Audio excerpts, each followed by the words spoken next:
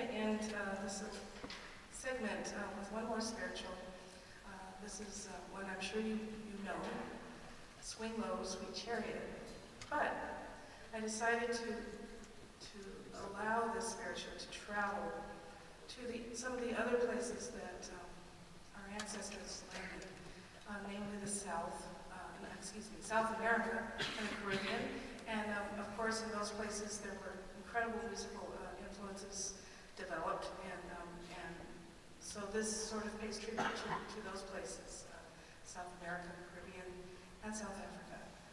Swing low, sweet cheer.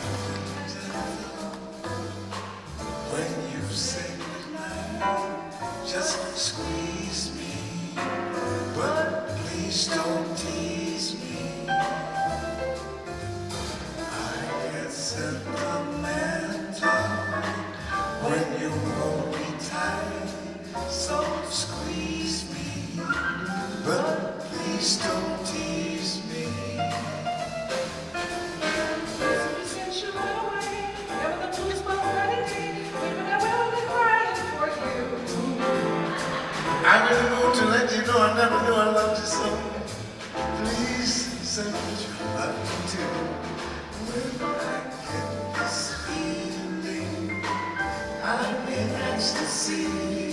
So squeeze me, but please don't